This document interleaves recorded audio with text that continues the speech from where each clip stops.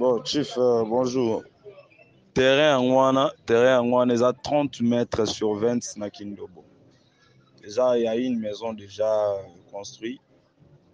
Bon, sous forme ya guerite quoi, hangar. Mais tosala yango en brique. Eza na brique, batola yango so otali video omona ma grandeur ya, ya parcelle ndenge ezaleli azoteka yango vraiment donc voilà naa na besoin mbongo so moto asololi na ye 13 euh, 000 à discuter akolongola moke tosololi donc voilà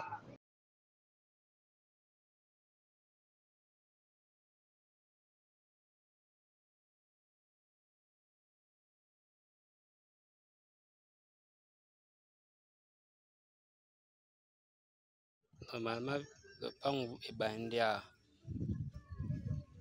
ti place bato bafandi wana oyo abenga yango largeur na longueur yango oyo awa na piquer ti Place pasta azali. Moi place ndako eza. Olongea. Olongea na mwango na ndako na mwango wa studio.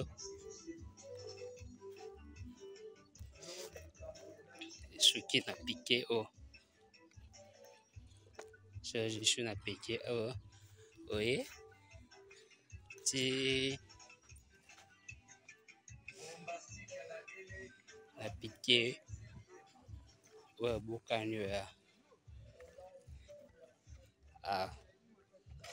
parti ya awa nde tali ti kuna nyonso atu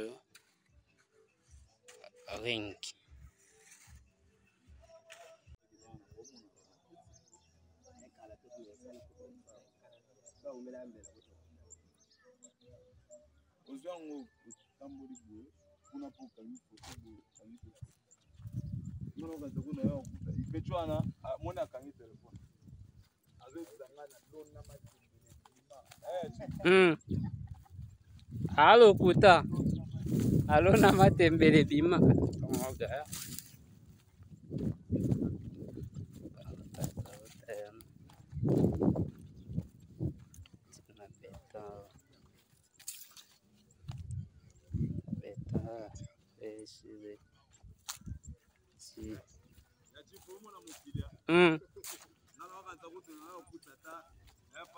na beton oyo na beton wana mpe emonana kota moto wana nsotu lopango